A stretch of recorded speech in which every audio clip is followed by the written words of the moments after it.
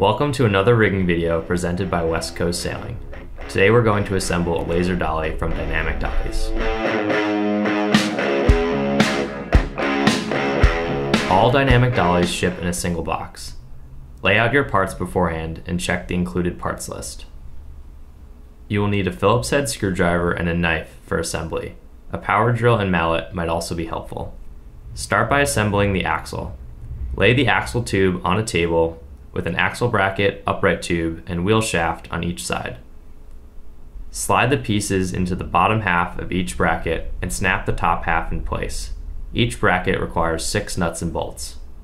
To assemble the sling, place the sling loop between each half of the sling bracket and snap in place. You will need two nuts and bolts for this bracket. Repeat on the opposite side. To assemble the forward half of the dolly, lay out the forward tube and forward upright with the heel bracket to connect them.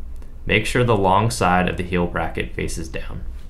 To assemble the bow fitting, snap each half together and connect with two nuts and bolts.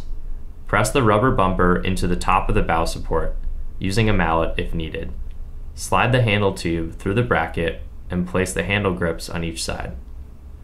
Remove the wing nut from the V support and snap onto the forward tube. You may need to adjust the position later on. Connect the remaining tube to the T bracket using two nuts and bolts.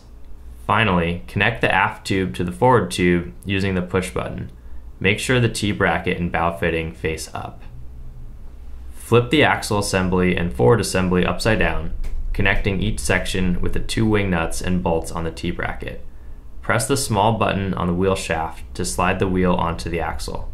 This button makes it easy to remove the wheels for transport. For more information on the dolly in this video and help with all your other sailing needs, please visit westcoastsailing.com.